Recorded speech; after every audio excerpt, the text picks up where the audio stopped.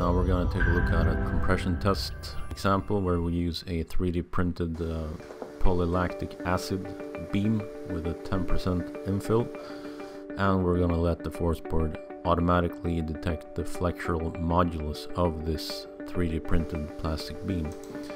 So we tell the program to move to 10 newtons and when it does just that it will automatically calculate and present to us the flexural modulus. So here it is compressing the beam up to 10 newtons and then it stops and you can see the uh, flexural modulus indicated in this box over here and it's 1.82 gigapascals.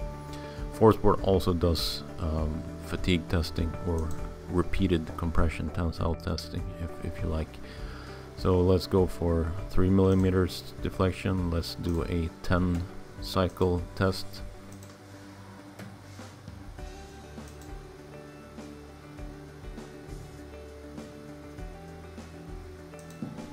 Forceboard can do loop testing for any number of cycles. It is one of the fastest tensile compression testers in the world today. It is the only tensile compression tester that operates in 1 or 2D, which is completely portable.